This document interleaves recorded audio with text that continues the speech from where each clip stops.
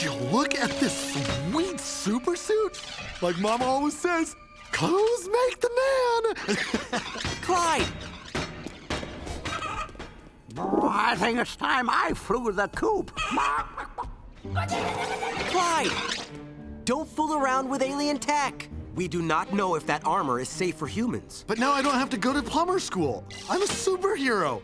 Ben 10, meet Clyde 5.